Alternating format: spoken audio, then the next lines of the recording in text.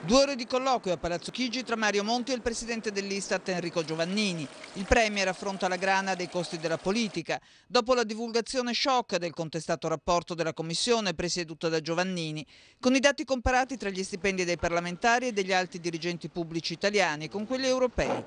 Segue nota ufficiale. Il Presidente del Consiglio ha preso atto dei rilievi formulati di cui il Governo terrà conto per le successive determinazioni di propria competenza. Cioè sembra di poter tradurre per i possibili tagli agli enti di emanazione pubblica, visto che sulle Camere l'esecutivo non ha alcuna competenza.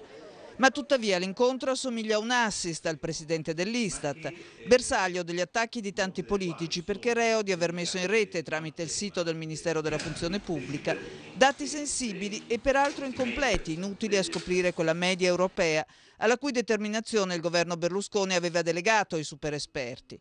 Chiedere a degli statistici di prendere decisioni al posto dei politici è un grande equivoco, si difende Giovannini. Si rimanda a una commissione tecnica che deve calcolare una media tra valori non omogenei e in qualche modo una rinuncia della politica di assumersi le sue responsabilità. Il Ministero della Funzione Pubblica rivendica trasparenza e correttezza nella pubblicazione obbligata per legge del rapporto Giovannini.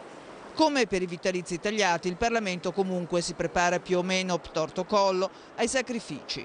Entro gennaio i collegi dei questori e poi gli uffici di presidenza di Camera e Senato faranno le loro proposte. Perché se è vero che l'indennità da parlamentare vale solo 5.246 euro netti, sono le voci aggiuntive a fare scandalo. Diaria anche a chi a Roma ci vive con la famiglia, viaggi gratis più 1.331 euro per i trasporti, spese di rappresentanza e per i collaboratori pari a 3.690 euro.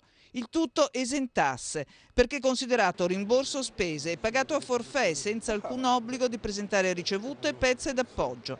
Tanto che solo un terzo dei parlamentari ha effettivamente un assistente, alcuni lo pagano una miseria se non a nero, fino al caso di un collaboratore che racconta di essere stato licenziato dal parlamentare con la motivazione che i soldi gli sarebbero serviti a un certo punto per pagare il mutuo di casa, a spese di noi contribuenti. E tuttavia la rivolta del palazzo contro quello che il PDLino La Loggia definisce un crescendo di odio, demagogia antipolitica continua a montare. Non siamo abusivi né bersaglio da circo, le spese di rappresentanza servono per organizzare gli eventi sul territorio, rivendica Francesco Giro, sempre PDL. No a infondate campagne denigratorie, si associa al capogruppo Cicchitto. L'alternativa è la delega della politica, una casta di ottimati, insorge Quagliariello.